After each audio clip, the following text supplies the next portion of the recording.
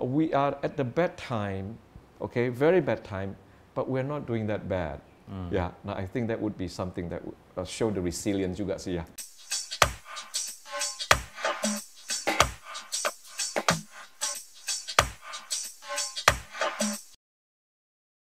Kita berjumpa lagi di The Ultimate Talks dalam episode Nature at its Best, persembahan dari Forbes Indonesia dan Oppo Find X2 Series. Kali ini kami menghadirkan seorang CEO yang menarik sekali untuk kita belajar, kita sharing bersama, belajar soal alam dan juga kekayaan alam. Ada Pak Ali Syahbana Haliman, CEO and Founder PT Haldin Pacific Semesta. Pak Aliman, apa kabar? Baik, baik, terima kasih. Pak Liman, kalau saya membaca profil dari perusahaan Bapak, ini kayak palu gada. Apa lu mau, gua ada. Tapi itu semua terkait dengan nature, terkait dengan hasil-hasil alam. Apa saja sebenarnya portofolio dari Haldin Pacific Semesta ini, Pak? Oke, mungkin pertama kita nggak punya semua ya kalau kita ngomong natural. Jadi memang foundation bisnis kita itu keywordnya selama 30 tahun itu satu, natural. So we are the natural ingredient people. Ya kita mulai dari vanilla pertama, ya uh, uh, vanili bahasa Indonesia, vanilla beans. Nah, kita trade waktu itu, ya. Jadi dari situ kita berkembang, produknya berkembang, form dari pro- pada produk itu juga berkembang. Kita mena- banyak memberi nilai tambah. Tadinya cuma kita jual vanilla beans-nya. Sekarang kita jual ya uh, wild beans-nya udah diproses juga ya. Nah, sekarang kita jual ekstraknya, concentrate-nya, flavors-nya ya. Jadi the evolution of the company dari natural tadi ya uh, uh, so kita nggak mungkin provide semua natural ingredient ya begitu banyak. Nah, kita fokus yang keunggulan Indonesia aja yang ada di Indonesia. Anda waktu itu masih tinggal di Amerika. Amerika ya. Jadi saya import vanilla Dari ke- Indonesia. dari Indonesia ke Amerika terus saya distribute ke uh, ke Amerika ke perusahaan-perusahaan yang bikin extracts. Ya misalnya perusahaan yang bikin extracts untuk ice cream company, Oke. major ice cream company, major brand yang kita sering lihat di mall-mall sekarang ya. Iya, iya. Nah suppliernya dulu vendornya itu customer saya. Saya kasih vanilla, mereka bikin vanilla extracts kasih ke mereka. Jadi dulu vanilla itu nggak ada market di Indonesia ya karena terlalu mahal. Nah kita dikasih artificial yang bubuk itu loh. Nah bubuk itu kimia ya Bukan natural. bukan natural. Ya jadi uh, uh, uh, uh, uh, uh, uh, uh, uh, mostly uh, 99%, 10, 100% of our business dulu itu semua ekspor. Ini menarik. Berarti dulu mengimpor vanilla, kemudian dibikin ekstrak dan juga digunakan oleh perusahaan-perusahaan yang ada di Amerika. Dari em, vanilla ini kemudian saya dengar berkembang menjadi teh, menjadi kopi, menjadi jahe, menjadi essential oils, menjadi macam-macam. Bagaimana awal mulanya dari vanilla kemudian berkembang ke berbagai macam ingredients? Ya, itu s- s- is a natural itu ya. Uh, uh, well, the, term natural now I'm using it. It's a natural uh, uh, uh, uh, apa growth daripada company itu ya. Uh, it's an organic uh, expansion ya. Jadi kalau kita bicara vanilla, kita pergi ke orang yang yang tadi yang mau beli vanilla sama kita, uh, mereka kadang-kadang bilang, do you have cocoa? Ya kan? Nah itu mulainya dari situ. Jadi sekarang apa saja Pak selain vanilla, cocoa?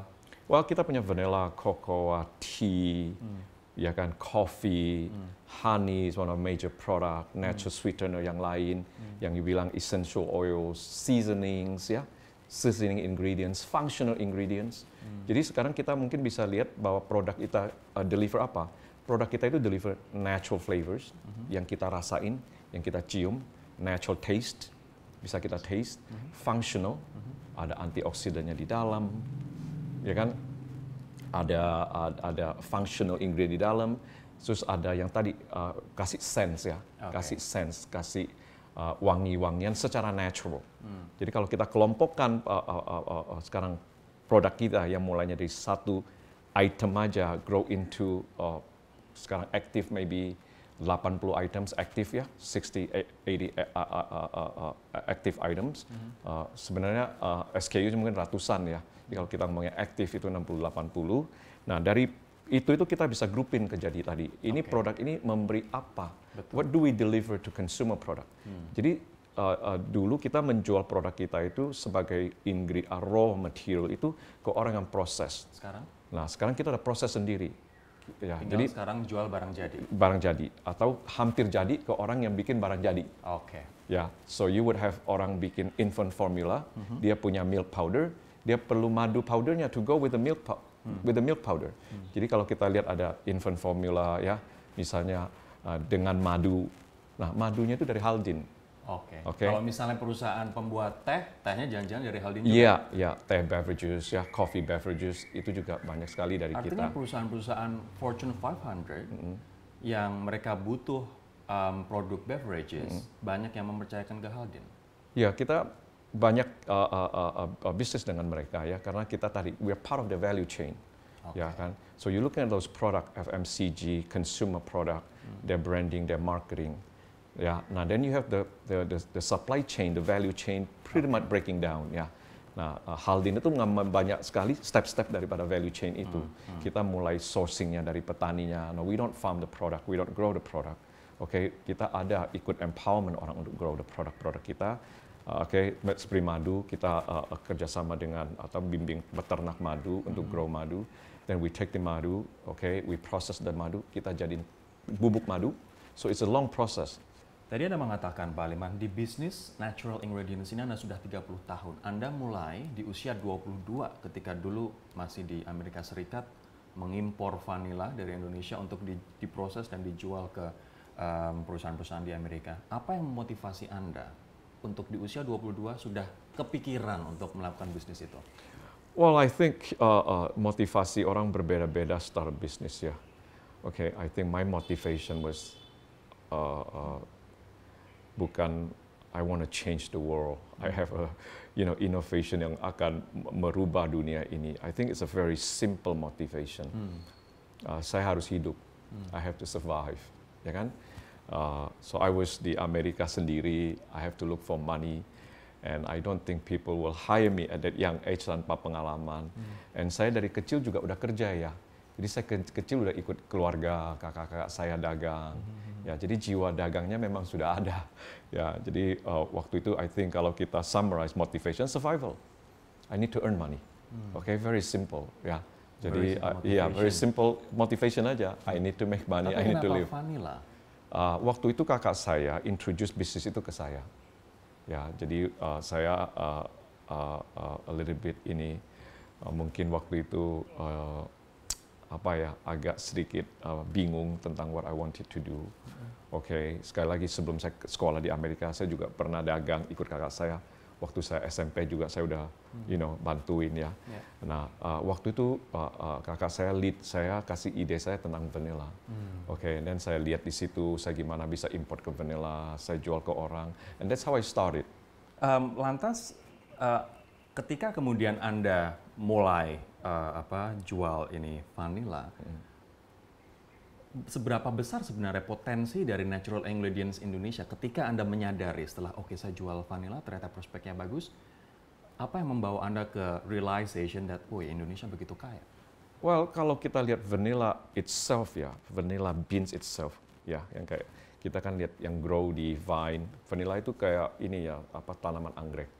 Jadi kayak bunga anggreknya merubah jadi pot ya, jadi kayak uh, kacang polong gitu ya, Ya, kacang ya. panjang, terus Panjang itu diproses, itu. difermentasi jadi hitam. Jadi aromanya banyak baru keluar. Nah, kita itu proses di di di negara-negara kayak Madagaskar itu petik hijau terus diproses. Nah, setelah itu kan menjadi dibikin ekstrak ya. Atau orang pakai itu sendiri potong-potong masukin ke kue ya. Tapi kebanyakan dijadiin extracts atau concentrate untuk dipakai di industri. Nah, kalau kita bicara misalnya ya uh, uh, uh, uh, waktu itu value daripada harga vanilla itu sendiri uh, nggak besar dari vanilla beans itu mungkin cuman kira-kira antara 100 sampai 150 juta dolar. Ya, whole world antara Madagaskar Madagaskar punya itu. So the market cap is ya 2 triliun, 3 triliun, which is very small. Tapi waktu di add value menjadi extract, baru menjadi ice cream, so you can see the, the multiple ya, bagaimana value addition itu terjadi. Oke. Oke. Nah, sebesar apa kita punya ini uh, natural ini bisnis? Uh, well, orang selalu bic- bicara dengan natural. Sejak 30 tahun lalu, 20 tahun lalu, even when I was I started the business, the the, the sentence of back to nature sudah ada. Ya, but it's a process growing ya. Karena nature itu nggak se- segampang kayak strawberry yang uh, flavor yang kita makan di ice cream itu artificial misalnya. Nah untuk ganti yang natural itu mahal ya, ya dan juga pakainya mesti lebih banyak karena kalau itu kan biangnya, karena itu kan artificial. Makanya makanan instan lebih murah daripada makanan Eh, natural. Iya, iya. Nah, kalau kita lihat uh, value-nya itu, saya rasa the more you can see the natural uh, business di dunia ini uh, uh, uh, uh, uh, growing-nya, Hmm. uh, uh, uh, uh, uh, saya lihat tuh ya memang besar sekali ya. Oke. Nah, cuman Dan tetap Indonesia provide itu. Iya, Indonesia provide. Nah, cuman dari segi apa kita provide? Jadi kita itu bisa provide tadi cuman uh, 10 dolar, kita cuma ambil contoh misalnya Value-nya. a unit ya, atau kalau kita add value bisa 30 40 dolar Kita ya. di level mana sekarang, Pak? Well, we're still four. Mostly we are on a very entry level. Artinya PR kita adalah bagaimana menciptakan added value dari produk-produk natural Exactly. kita yang banyak Exactly. Exactly. Oke. Itu itu intinya karena tanpa added value. Jadi it's not only the added value, the moment you add value to produk itu, kita merubah produk itu jadi perishable Hmm. ke sesuatu yang stable. ini. Oke. Ya. Oke. Nah, i- itu juga terjadi perubahan uh, uh, apa fisik sendiri daripada produk itu ya. Baru-baru ini teknologi atau inovasi apa yang diterapkan oleh Haldin, Pak? Well, kita basically di perusahaan kita itu ada dua main technology, ya. Satu itu liquid technology, dan kedua itu powder technology. Jadi suatu produk itu, misalnya kita ambil teh misalnya, ini mau dijadiin instant tea sebagai powder, atau dijadiin tea concentrate secara liquid.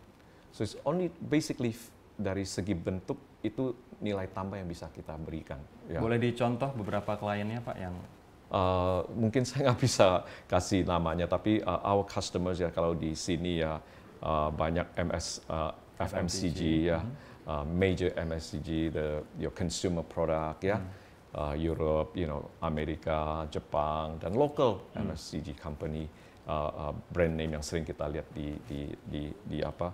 Uh, sehari-hari Ya sehari-hari. Nah market kita juga bukan hanya Indonesia, kita juga ekspor banyak. Hmm. 50-50 basically ya.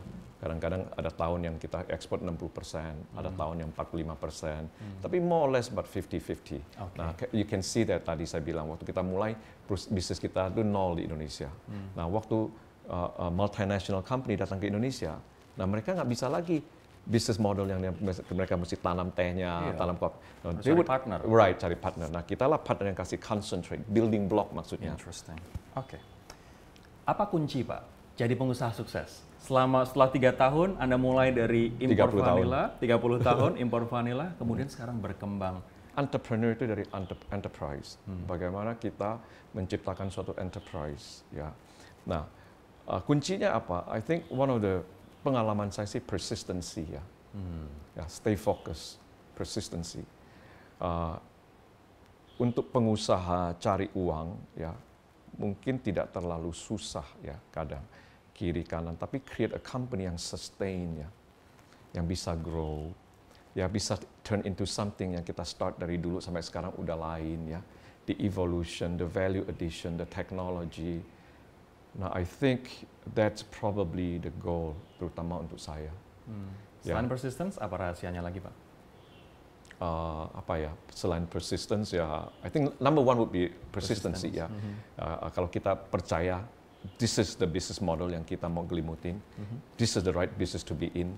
Uh, don't look left and right. Do it Fokus. guys. Focus. Ya bring it home Em, Pak Aliman, bagaimana sebenarnya dampak pandemi COVID-19 ini terhadap kelangsungan bisnis Anda dan juga industri pangan, termasuk industri ekstrak dan perasa? Uh,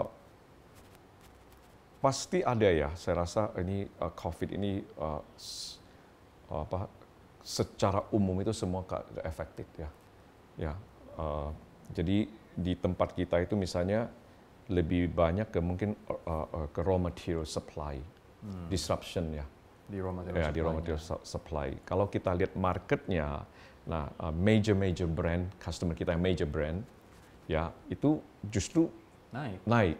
Nah, kita di belakang mereka kasih mereka ingredients ya kan. Uh, di yang kita uh, uh, uh, uh, rasakan dampaknya itu tadi di disruption of raw materials dan shipping.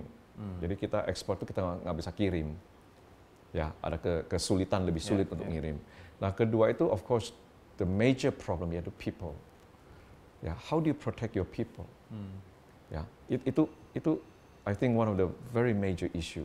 Gimana kita harus protect orang kita? Bagaimana kita make sure orang kita sehat dan bisa kerja, Ya. oke, dan bisa produktif, oke, dan make sure nggak ada kasus di perusahaan kita ya. Uh, uh, uh, j- uh, dan I think, uh, thank God, uh, kita sejak awal, waktu awal Februari pun saya udah implement uh, uh, di semua pabrik kita itu uh, uh, preventive measure. Oke. Jadi orang-orang datang udah diperiksa. Kita mulai pertengahan Februari aja udah nggak terima tamu. Oke. Tapi menariknya Pak, em, ketika permintaan em, makanan ini berdasar berbagai macam research yang juga em, di e-commerce pasti naik. Nah di dalam e-commerce ini bahan makanan juga sampai naik berlipat-lipat.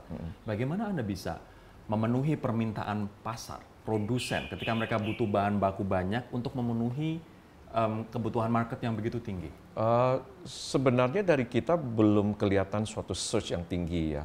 Mungkin mereka juga kan kita di belakangnya dia ya. Uh, jadi waktu itu juga misalnya 2-3 bulan lalu nggak ada search di demand tinggi karena mungkin mereka juga kirim dari inventory mereka ya. Oke. Kan mereka ya kan nah mulai-mulai nah ini agak selesai agak dikit baru kita lihat search. Jadi bisnis juga nggak grow bagi kita. Oke, it's stay, stable. Nah, cuman kalau kita lihat di consumer product uh, business grow itu terutama tadi dari major brand. Jadi orang balik ke major brand. Uh, can soup yang orang beli dulu udah lupain. Nah, dan orang realize ya, ini become handy.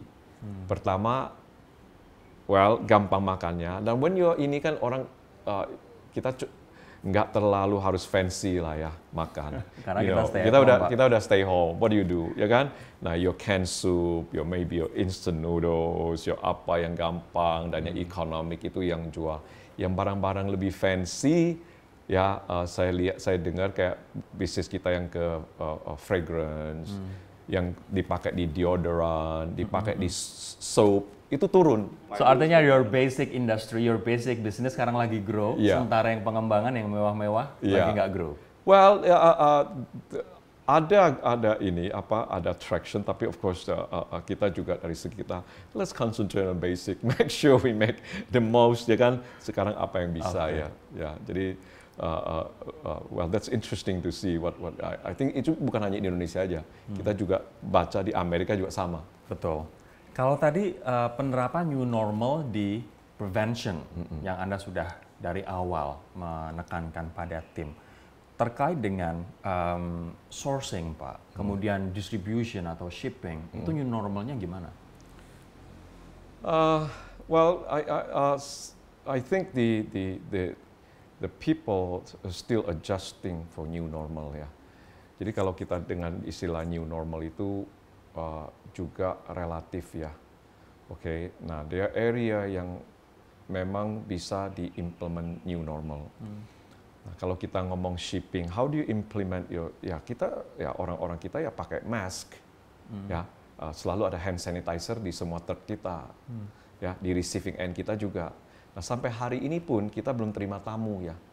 Dan saya masih uh, tidak kasih tempat kita fasilitas kita terima tamu. Oke. dan orang juga belum sales call keluar. Ya lebih banyak ke conference segala macam. Uh, now this will stay for a while tapi uh, uh, uh, in the uh, uh, new normal yang kita lakukan ini dengan adanya tadi uh, uh, ini kewaspadaan ini harus. Karena sampai hari ini pun kita juga nggak tahu directionnya ini ke mana ini. Betul. ya jadi uh, uh, uh, uh, uh, uh, kita tetap preventive measure aja new, new Shipping normalnya. new normalnya seperti apa kemudian? Kalau nggak bisa kirim dan mungkin waktu shippingnya jadi lebih lama.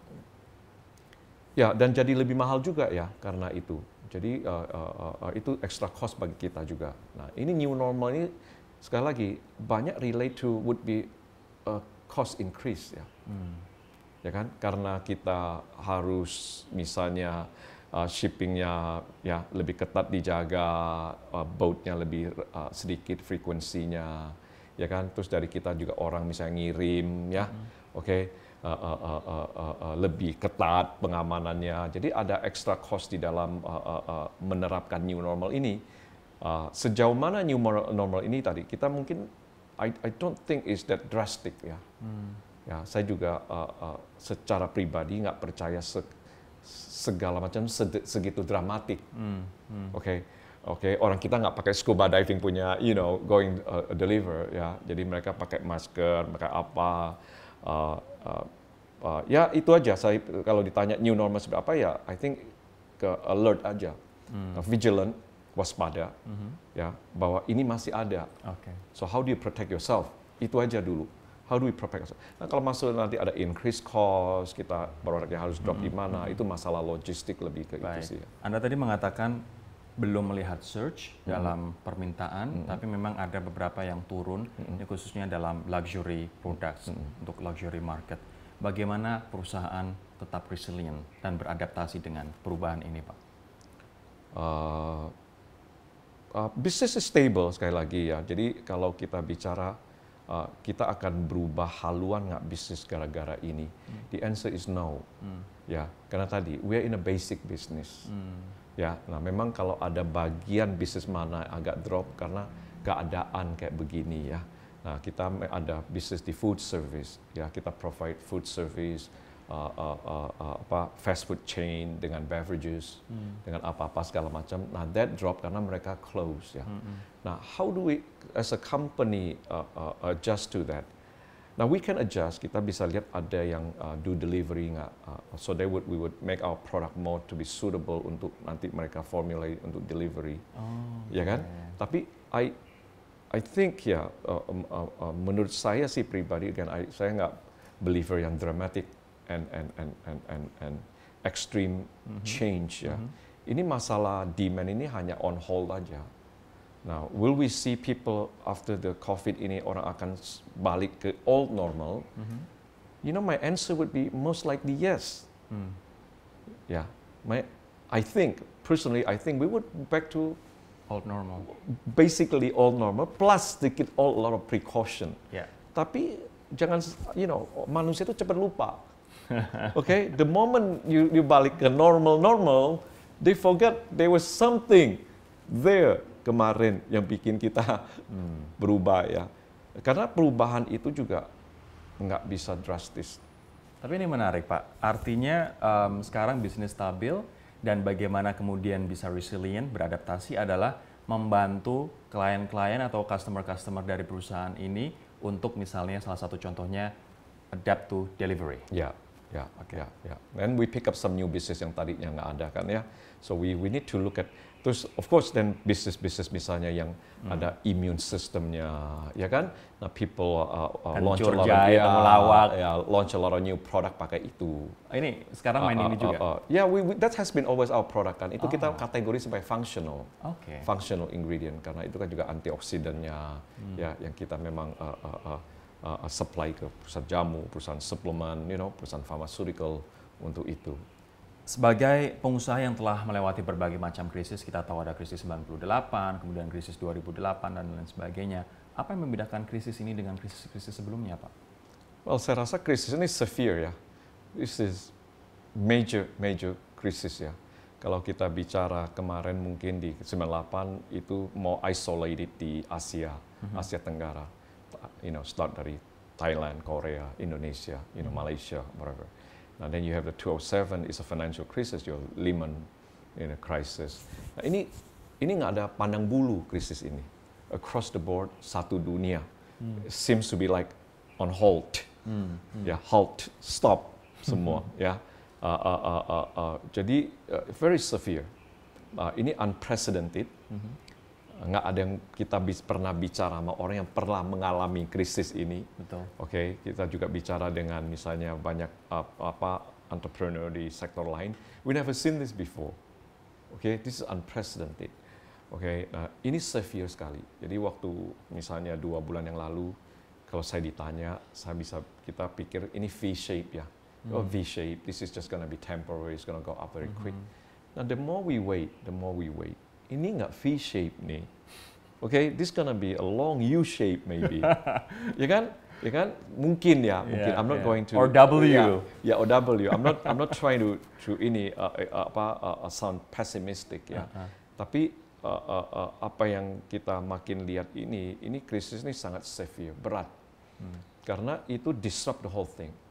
Ya, disrupt your travel, disrupt your tadi supply chain, Banyak industri yang disrupt collapse. goods yang itu banyak yang collapse ya, your food supply collapsing, uh, every you know, so it, it is a very very severe ya, dan juga dengan adanya itu collapse and you're talking about unemployment growth. Hmm. Okay, then if you're talking about unemployment growth, you're talking about ya daya beli menurun. Hmm. Okay, so the whole damage ya systematic damage itu mulai dirasakan nih, ya bahwa uh, bermula dari situ kita lihat orang kehilangan kerjaan ya kan bisnis kena uh, kena impact nggak ada kerjaan uh, uh, then you have the purchase power oke hilang atau uh, become lessen. Nah bagaimana caranya kita untuk menghadapi ini tadi? Saya rasa kita mesti lihat dari kita punya bisnis itu yang basic need orang itu tetap aja masih ada kan ya. Ya the the food the seasoning that you need to you know uh, uh, uh, uh, put on your food karena kita kan di package food uh, uh, on the on the on the value chain di package food di beverages di bottle nah during uh, uh, uh, uh, uh, uh, so called uh, uh, uh, staying at home whatever we call it I don't think we call it lockdown di sini kan ya PSBB. staying home uh, PSBB Nah, ada banyak produk yang memang dari customer kita yang grow tadi. Ya, kita lihat seperti misalnya infant formula. Infant formula nggak sama sekali drop Hmm. ya uh, produk-produk baby ya. Orang tua nggak mungkin ya. I mean oke Mengurangi ya itu. mengurangin Ya, ini rasanya that the last thing you do. Ya jadi uh, banyak bisnis di di side-side itu uh, cukup stable. Hmm. nah memang kalau kita lihat sih uh, untuk uh, uh, uh, I think in a zaman kayak sekarang of course you have company profit from it contoh Zoom ya Ya. everybody with Zoom saya baru baca dia punya revenue went up 189 persen okay we understand yeah they're in the right business at the right time okay nah I think on a industry orang-orang seperti kita perusahaan seperti kita kita drop 10 persen aja 20 I think we're doing well Oke. we need to be pragmatic Haldin drop berapa atau naik berapa? well I, I I think we can probably do quite well yeah maybe we try to do a single digit drop the last ini yeah Single digit growth yeah, in the maybe, last? Yeah, maybe 10, 15% growth. Apa drop ya? Oh, And- drop. ya drop, drop. I'm talking about drop. I think kalau kita lihat secara pragmatis, uh, uh, secara bisnis ya, kita drop 10%, itu I think we are doing well. Masih stabil. Yeah, I think we are doing well. Ini perbandingannya uh, year on year kemarin year on year, quarter year on satu year, yeah, drop year on year, 10 yeah, sampai yeah, yeah, 15 yeah, year, year on year, ya. Jadi kalau uh, uh, uh, I like to see, of course, semua orang mau grow, Hmm. tapi again, uh, uh, the major issue dengan adanya unprecedented event ini, yaitu pertama uh, ya kita jaga orang kita dulu, itu aset kita. Nah, I think business will pick up, ya, karena basic need kita yang kita supply industri kita, it's just a lot of disruption karena tadi uh, uh, they are wearing out their inventory. Hmm.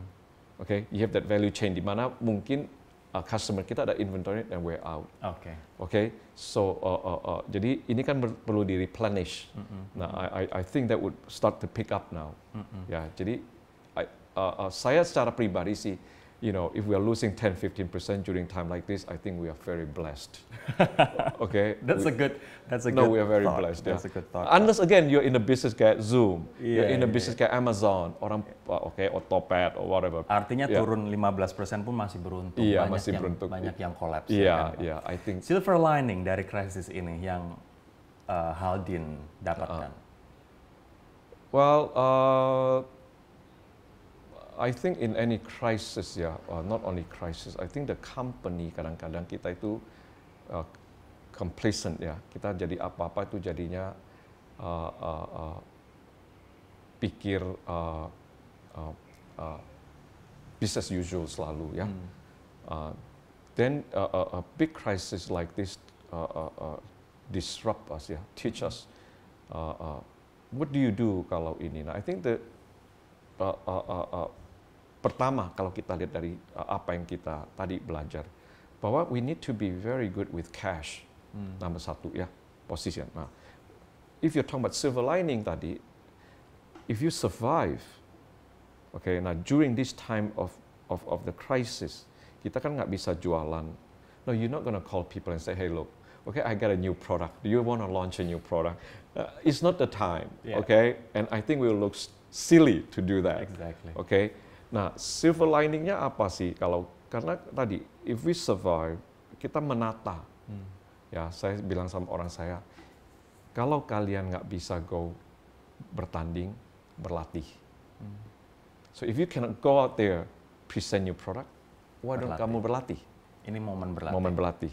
Okay? Now the company I think is in good shape. Kita nggak ada reduce orang. Actually we hire orang lewat Zoom. Hmm. Ya, hire uh, uh, uh, more orang. Now uh, the silver lining if we uh, put ourselves ini ini banyak sekali I think opportunity ya uh, uh, di mana uh, uh, uh, uh, uh, uh, we will pick up new business. Karena ini kita mulai tadi kita start to look at uh, oh yang basic ini justru ya yang di mana diperlukan. Yang ini yang kita mesti improve. Yang ini mungkin terlalu ya kita put it on a back burner now ya investment yang kita lakukan itu maybe we shouldn't do that ya jadi kalau ada hal yang kita pelajarin ya uh, uh, of course as an entrepreneur kita selalu optimis Ya. Oke tadi, uh, uh, uh, you know, uh, you're not in a business tadi uh, di crisis ini, you know, you would grow, you would expect to grow karena kita memang bukan di bisnis itu tadi Ya, ya. ya yang happen to be at the right moment at the right time. We are at the bad time, okay, very bad time, but we're not doing that bad. Hmm. Ya, nah I think that would be something that would uh, show the resilience juga sih ya. Oke. The oke. resilience is that during the bad time, you're not really that bad. okay? ya kan? Ini yang menarik. Artinya we go back to nature and we go back to basic. Ini yang silver lining dari apa yang ada di sini. Yeah, I think the market is still there, the Okay. demand is still going to be there, yeah. Pak Aliman, apa yang ingin Anda sampaikan ke sesama pengusaha atau aspiring um, entrepreneurs di luar sana yang um, saat ini mungkin pesimistis, yang saat ini mungkin sedang deg-degan antara collapse atau survive, apa yang ingin Anda sampaikan? Yeah, it is a very tadi uh, a very uh, a severe ya, a crisis ya. It's a very tough time. Uh, uh, makin hari kita rasakan. Nah, uh, memang uh, memang kalau di saat-saat gini itu uh, sebagai entrepreneur tadi uh, refocus sih ya, ya I think. Mungkin kalau kita nggak bisa grow, we stream down. Memang harus stream down. I mean, you have people have a shop misalnya open selama lima tahun ini sampai 300. Now what do you do now? Oke, ini seperti ul, tangga ular nggak di monopoli ya. All the sudden all you build up, set turun Crumble, lagi, crumble. Nah, uh, uh, uh, saya rasa sih uh, persistency tadi. Kalau kita percaya bisnis model itu benar, ya apa yang dilakukan itu benar, oke. Dan ini disruption yang terjadi, ya we can weather that out, oke. Uh, uh, uh, uh, mungkin cuman, you know, again each business is different, ya bagaimana caranya itu. Tapi kalau secara umum sih, ya mungkin ya refocus kali ya. Kalau ada yang perlu direfocus. Uh, uh, kalau nggak ada ya persistency. Ya kita percaya ini ini hanya masalah, you know, COVID, which is hopefully berlalu. ya akan berlalu. It akan berlalu, oke. Uh, berlalunya bukan misalnya kita habis semua. Kalau ada ya, it would subside ya. The degree of impact, the degree of the severity mungkin akan lessen walaupun ada, ya kan? Uh, uh, uh, I think that's that's how I would look into the future. Ya posisi kita tadi balik ke basic, making sure ya the the basic needs consumers gimana kita bisa part of that that that value chain. Okay. What is your ultimate achievement, Pak? You know, I don't see myself I've achieved anything. Beneran. Kalau But ditanya, Haldin achieve many things. well, uh, uh, small small success, yeah, small success. Uh, I, you know, I I'm you know still very strong uh, uh, uh, running the business, and I started also few businesses, yeah, uh, di mana emphasize di origin, ya kita buka facility di Pulau Sumba, di Flores, di mana untuk ngolah bahan baku dari daerah-daerah di situ. Oke, jadi uh, uh, uh, my my goal is that I continue to invest my time and effort and grow the business dengan basic natural resources ini. Tapi arahnya saya sekarang ke depan lebih banyak uh, uh, ke arah origin. So you see me like di Sumba set up facilities, drying facility, di Flores ya uh, set up facilities. Nah banyak effort saya sekarang tuh ke arah situ. Ya kalau dibilang tadi achievement ya achieve something, but you know it's a very small success ya. Tapi tujuan akhirnya muaranya dari ke Sumba, Flores, Bali ini apa, Pak? Well, I, saya sendiri pribadi, I think as an entrepreneur, uh, number one, we make a nice living, we successful, we run a successful business, there's a reward. Okay, which is we live a pretty good life. Okay, karena dari sukses daripada bisnis itu. But then on the other side, I think beyond the material, impact apa? What kind of impact seorang entrepreneur dan untuk industri dia? A pioneer, dia bukan yang yang yang yang yang yang started this out sehingga orang follow. Dia bukan yang trailblazer-nya, ya dia yang bukain jalan, yang yang yang trailnya, ya kan? Ya supaya orang lain bisa blaze juga, ya kan? Uh, so I think the ultimate mungkin bukan melihat dari sukses itu sendiri. Kalau ditanya sukses itu saya sendiri nggak pernah merasa saya sukses. Frankly, uh, do I have achieved something? Yes. Am I blessed? Yes, I'm blessed. I live a pretty good life. Ya, Uh, uh, uh, karena hasil daripada uh, Kerja bisnis keras saya. Tapi I think the question selalu setelah itu ya, what kind of impact ya kita kita uh, uh, tinggalkan atau kita apa uh, uh, Wariskan. ya, wariskan ya terhadap industri yang kita gelimutin. Oke. Ya, I think that would be the probably the ultimate goal sih. Ali Syahbana Haliman, terima kasih atas waktunya. Makasih. Thank you. Itu tadi perbincangan kami dengan Ali Syahbana Haliman dengan episode Nature at its Best. Kita bertemu lagi di episode The Ultimate Talks selanjutnya. Sampai jumpa.